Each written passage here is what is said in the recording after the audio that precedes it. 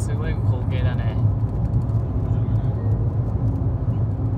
本当あれ雲か雲だよね。雲が近いように感じるんだね。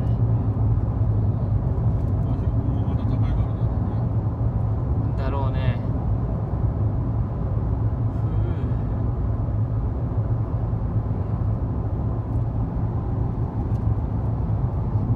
まあ普段まあ平地で暮らしてるからこんな感じなんだろうね。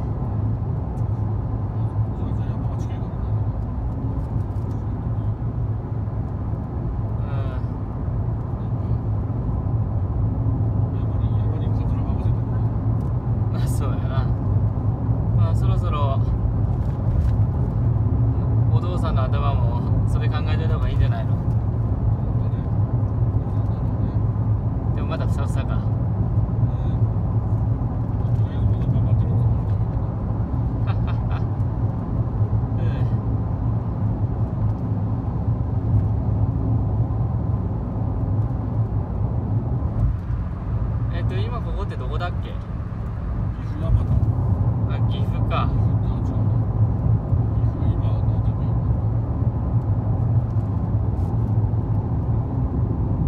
岐阜ね。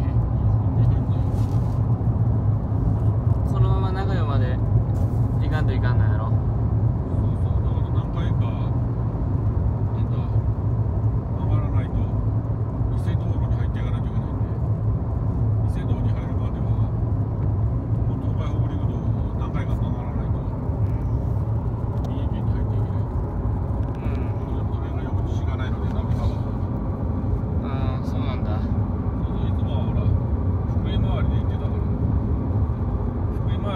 道が単純なんだけど50キロほど距離が長いんで。なるほどね。